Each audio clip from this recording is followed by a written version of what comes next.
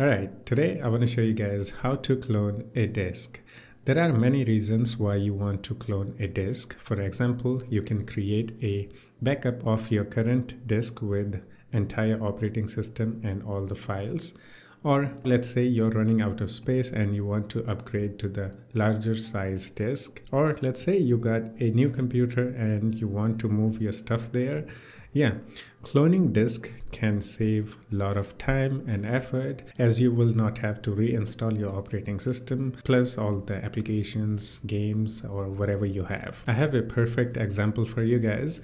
This is a Windows machine running on a HDD. Now I want to upgrade it to SSD.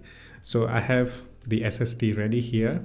Uh, if you're following this tutorial, then make sure that the disk where you want to clone is empty. If there is anything that needs to be saved, then make sure to put it somewhere in safe place because this disk will get formatted while cloning. Now this video is sponsored by EaseUS, a software company who makes variety of different softwares. So today I want to show you guys this software called Disk Cloning by EaseUS. I will put a link in the description for this website. You can go there and download it. Now once you download this software, just open it up. Now this is how the software looks. Pretty simple. There are a couple of options here, but today I just want to show you guys how to clone a disk. So select the option disk mode, which will be the first option. So go in there and in here, first select the disk which you want to copy.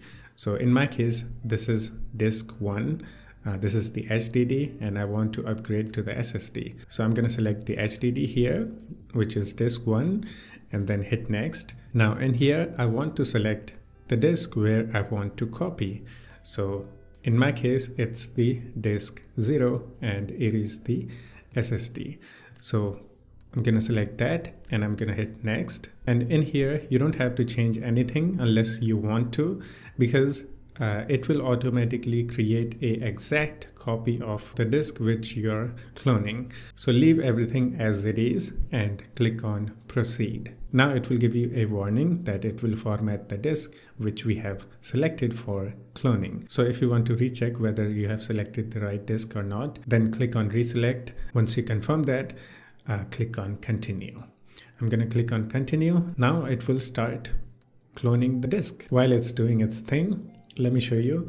It's actually a fresh installed uh, Windows 11. I don't have many things installed in it, but uh, let me show you a few of the things that I have. In my downloads folder, you can see all the files here.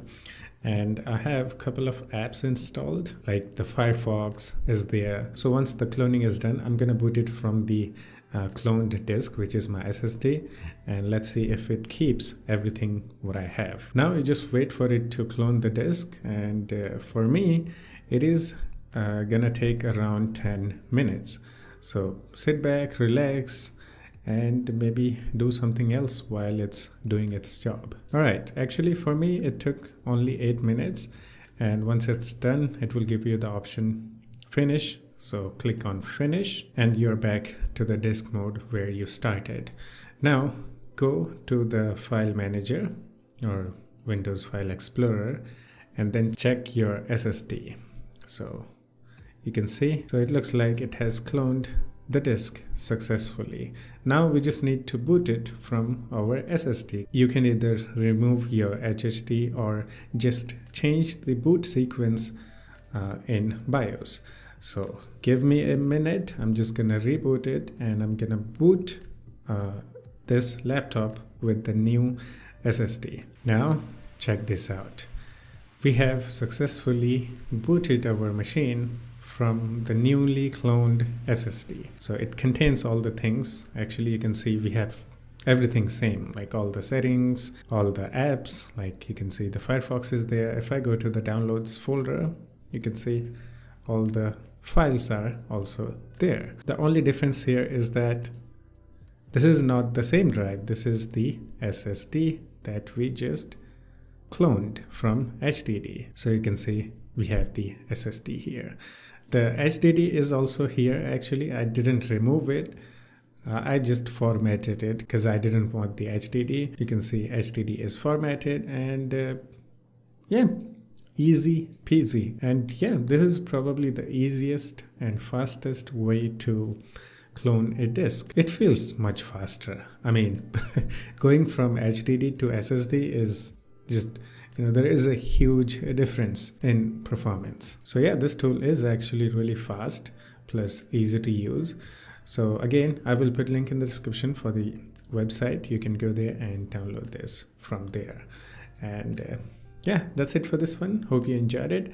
If you still have any questions related to this topic please feel free to ask a question in the comments and we can have some chit chat in the comment section too. Yeah that's it. I'll see you in the next one. Take care of yourself and have fun. Bye bye